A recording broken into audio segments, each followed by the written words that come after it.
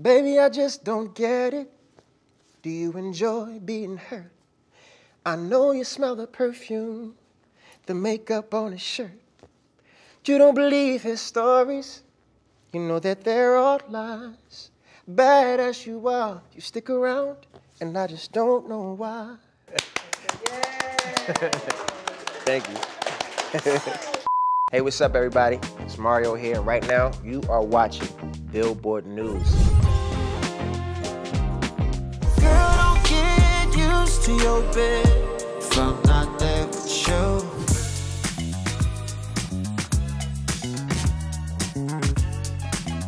I'm Neena Rouhani with Billboard News, and we are here with R&B legend and legacy artist Mario.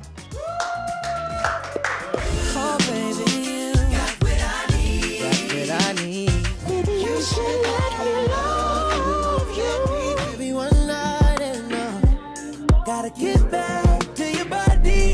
signed your first deal with J Recordings, Clive Davis. Yeah. To be catapulted into that so young, tell me about that. It happened pretty fast. I got adopted when I was 13. I moved from Baltimore to Jersey, and that span of two years going into my first signing happened really quick. It kind of prepared me for this industry and the fast pace of it. Was this know? post Let Me Love You? Definitely. Let Me Love You came out when I was like 19. You should let me love you.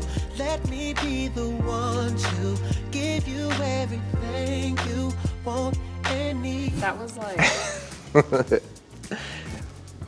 that was my jam. Thank you. That was everybody's jam. It was the It's- eighth most successful single of the decade, according Yeah. to Billboard. It was an amazing experience making that album, being a young man now, like in the world, traveling, seeing different types of women, seeing different types of cultures, and being on tour. So I was talking to Beyonce at Steve Stoute's party, and I was telling her, like, thank you for putting me on my first major tour. I went on tour with Destiny's Child when I was like 19, 20. What was it like going on tour with Destiny's Child? Oh man, it was amazing. It was my first world traveling tour. Girl, get used to your bed. From not there with you. So with Used to Me, how did you get together with Ty? Like, how did the song come to be? Me and Ty known each other for years. I always thought he was incredible. I knew he was gonna be great at what he did, whatever he put his mind to. We just were waiting for the right time. Timing is everything. I got in the studio with D'Mile and I told D'Mile, yeah, I'm like, I wanna live in a space where we can create something that feels classic, but it's a lifestyle song, but it's still something that can live forever. I played a couple vibes from a couple examples and we just created the track on the spot. Once I had my verse down and like kind of a melody for the second verse, I sent it to Ty.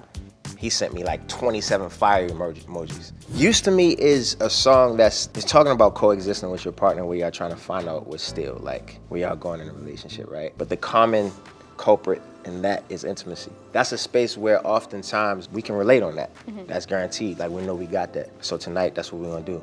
We'll figure the rest out tomorrow. It's that duality between love, love lost, lust. What is this? But we know we have this connection. This is definitely like the grown Mario. Definitely, yeah, of course.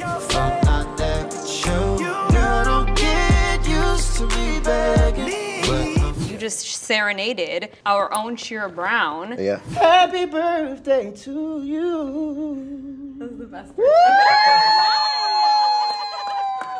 When it comes to your writing now and your sort of creative process, where do you feel like you're at? I feel like I'm exper- experimenting, but I'm also very. I try to write in real time. So at the moment I feel a overwhelming emotion is probably when I write the best music. So I have catalogs of songs that are just moments of a capsule of emotion. I invite uncomfortable moments in my life because it gives me the energy and the force, the magnetism to create with. Kendrick's album, I think that was like a great display of vulnerability. And super vulnerable. It showed both the dark and light sides of love. I relate to Kendrick in general as an artist. I like his artistic process, how he delivers the music. But I feel like I related to the whole album because growing up, I saw a lot of toxic, you know, relationships between men and women. I definitely understand the duality of light and dark when it comes to love. I'll be damned if I'm stuck with you. Change my number, I'm ducking you, bitch. Bitch, whatever is comfortable. That's the type of shit couples do. Should've thought about cuffing. who are some new R&B artists that you would love to work with? SZA, Lucky Daye, Sabrina Claudio, which we have a little surprise about to sprinkle on y'all soon. I just wanna be the one.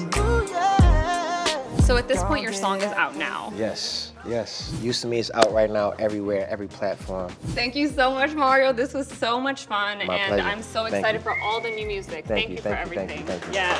Thank you.